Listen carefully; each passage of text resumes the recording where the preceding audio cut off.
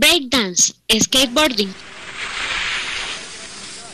básquetbol 3x3, surf, escalada, karate y softball son los deportes que se suman al nuevo ciclo olímpico. Y Parlando dispone, entre sus objetivos para París 2024, traértelo.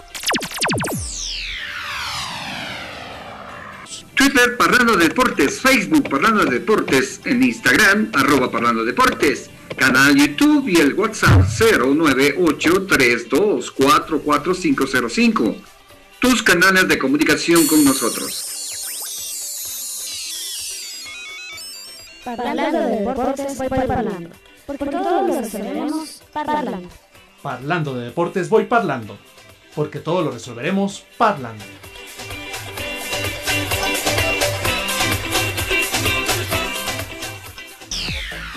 Podemos contar cada uno cuál ha sido la entrevista que más le, ha gustado en este año, en, este, en esta parte de la sexta temporada al aire, y, y que realmente eh, nos ha satisfecho con nuestro objetivo, que es eh, promover los otros deportes. Luis, ¿cuál ha sido tu, entrevista? Bueno, casi, casi que la última que, que hiciste fue este de la, del baile de salón. Sí, me, me interesó mucho por cuanto ahí también, pues, como decía Angelita, el cuerpo necesita también moverse. Y y me gustó esa parte porque es un nuevo deporte que viene a ser acá, que ya prácticamente lo están llevando a la parte olímpica, que es muy importante. Y estamos eh, eh, de acuerdo con eso porque se ve tantos deportes, atletismo y tanta cosa, pero esto del baile de salón es muy, muy bonito, muy interesante. Esa es la parte que me gustó a mí en este año. Me interesó mucho. Ojalá volvamos a tener algún representante también ya que ha participado en los mundiales, en los olímpicos, ¿no? Para ver cómo nos va. Sí, o sea, el, asunto del baile deportivo tiene un interés totalmente diferente, incluso el breakdance ha sido ya catalogado como deporte olímpico para París 2024 y también tuvimos un representante de breakdance en lo que se refiere a al programa. Natu, ¿cuál es tu entrevista? Bueno, otro de los deportes eh, que me dan temor, pero admiro mucho, es a, la natación en aguas abiertas, ¿no?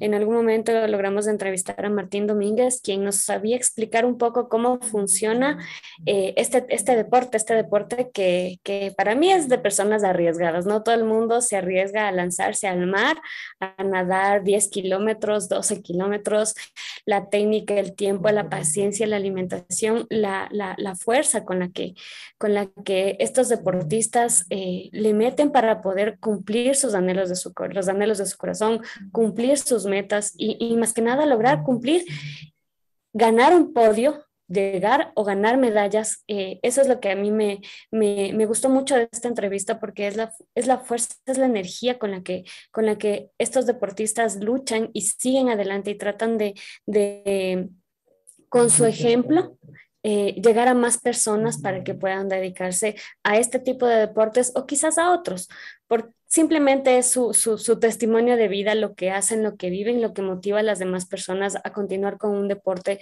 eh, cualquiera que sea, ¿no? En cualquier ámbito. Me gustó mucho esto eh, y más que nada yo felicitarles a, a, todos los deportistas, absolutamente a todos, por las ganas, por el esfuerzo, por, por lo que luchan, por el solo hecho de cumplir un anhelo de su corazón. Decirles que sigan adelante, que nosotros aquí como Parlando vamos a estar pendientes de lo que hagan, de lo que, de, lo que promuevan y, bienvenidos aquí siempre a este programa. Y yo me voy a quedar con los paneles en este caso. La, en este año, en esta temporada, tuvimos la oportunidad de hacer tres paneles. ¿sí? No había este segmento en lo que se refiere al programa Parlando de Deportes pero eh, con la posibilidad del Zoom se pudo contactar primero a tres eh, especialistas en ciclismo cuando se iba a correr el Giro de Italia hace dos años, ¿sí? esto a, finales de, de la primera, en esta parte de la, de la pandemia. Entonces, pudimos conseguir que que se dé una expectativa sobre Tour de Francia. En este caso, ¿qué, ¿cuál era la expectativa que tenía Richard Carapaz cuando, antes de que llegue a ser tercero ¿no? en, el Tour de Francia? ¿sí? Eh, hicimos un panel para una pelea de UFC del Chito Vera, donde también estuvieron tres personas, en, en este caso, ingresadas en el deporte de las artes marciales mixtas, y que también hablaron sobre las posibilidades de Chito, que también lo tuvimos en el programa cuando no todavía llegaba a ser ocho en el mundo, hoy es eh, ocho en peso gallo en, en el mundo, Chito Vera. Y el tercer panel lo tuvimos con mujeres deportistas, ¿sí? Con Fernanda Vázquez, con la deportista del UFC y con, en este caso, la ciclista, ¿sí? Que también nos dieron ese papel de la mujer en el deporte, que ha sido muy importante para el Ecuador, porque son ellas las que han ganado más medallas.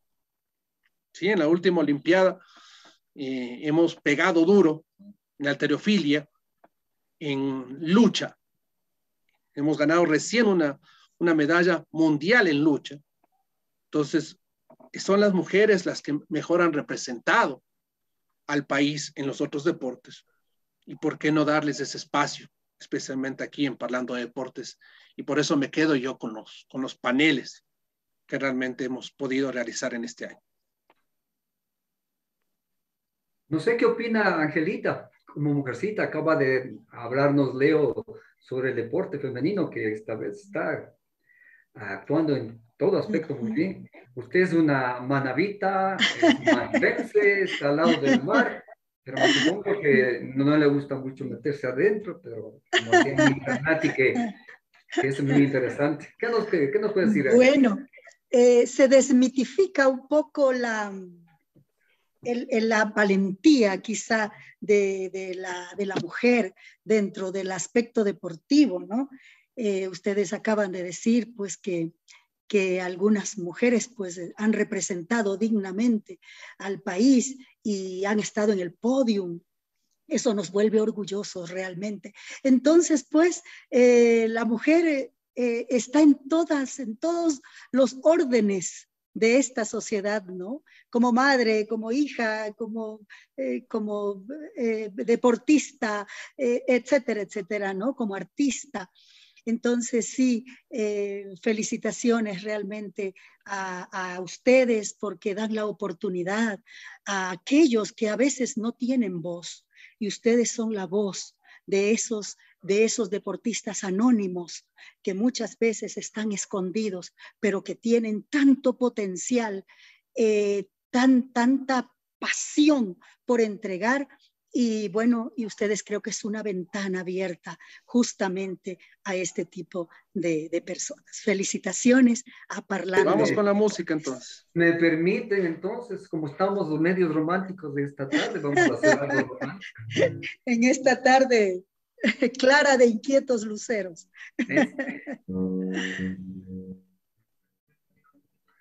A ver si puedo y, y me acuerdo de este bolero.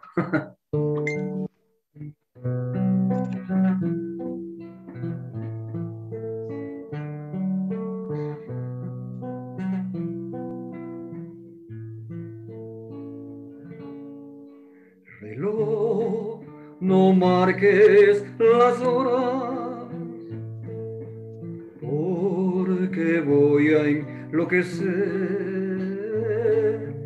Ella se irá para siempre. Cuando amanezca otra vez, no más nos queda esta noche nuestro amor y tu tic-tac me recuerda mi irremediable dolor. Reloj, detén tu camino, porque mi vida se apaga Ella es la estrella que alumbra mi ser. Yo, sin tu amor, no soy nada. Detén el tiempo en tus manos. Haz que esta noche perpetua para que nunca se vayan de mí, para que nunca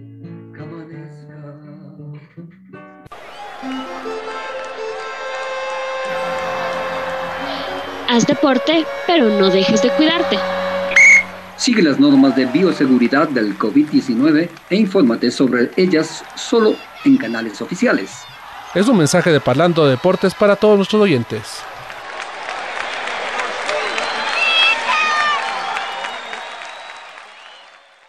Entonces, no hemos dejado de trabajar en estos seis años al aire, a pesar de que vamos a tener, en este caso, un especial de Navidad y normalmente en Navidad y en, en Año Nuevo nosotros solemos reciclar un poco los programas para volver a emitir algunas entrevistas, algunas cosas, pero el especial de Navidad de la próxima semana también va a tener audios nuevos y cosas que no se han emitido, porque obviamente las cosas se siguen dando en el deporte ecuatoriano y no hay cómo dejar la coyuntura un poco aparte. Pero este aniversario llega a su fin, ¿sí? Nos hemos puesto caché esta vez, ¿no? Los otros aniversarios yo me había disfrazado un poco de, de Juancho, disfrazado de Diablo, pero hoy en día estoy caché. Disfrazado de lo mismo. De señor, de señor. Bueno. Agradecemos mucho a Angelita por acompañarnos en este, en este aniversario y por eh, deleitarnos con este arte y que realmente en, siga adelante buscando la posibilidad el, de seguir escribiendo, ¿no? Uno, Gracias. Uno siempre, en este caso, trata de ganarle el tiempo al trabajo para poder encontrar esos lugares y esos espacios para seguir escribiendo. Así es, muchas gracias, gracias. Angelita. Muy lindo escuchar tus muy lindo escuchar eh, el arte que haces, ¿no? Eh, en otra ocasión y de igual manera, bienvenida aquí a Parlando de Deportes Ahí y está. muchos, muchos éxitos de lo que hagas. Gracias a ustedes, la invitación. Éxitos. Y Angelita, muchas gracias. Estamos en contacto. Gracias. Ok, un gusto, una muy buena tarde. Igualmente. Un gusto. Nosotros les recordamos que nos pueden escuchar de qué manera, Natu.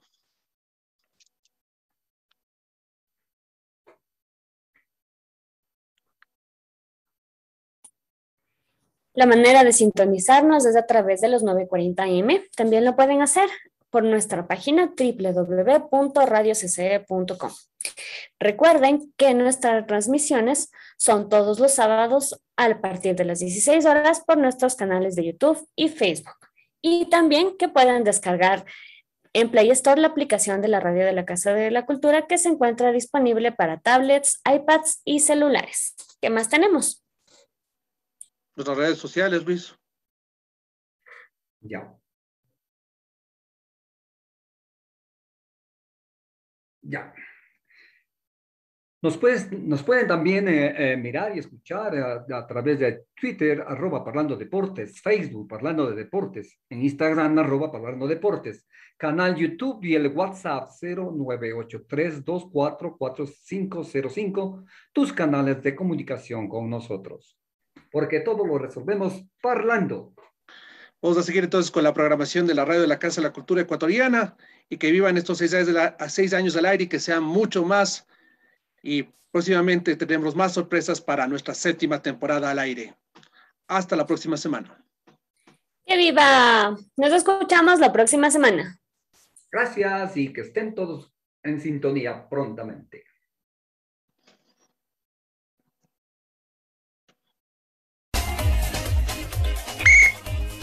El pitazo final aún no está dicho. Pero el hablar por las competencias de nuestro país se volverá a jugar hasta el próximo domingo. Porque todo lo resolveremos parlando.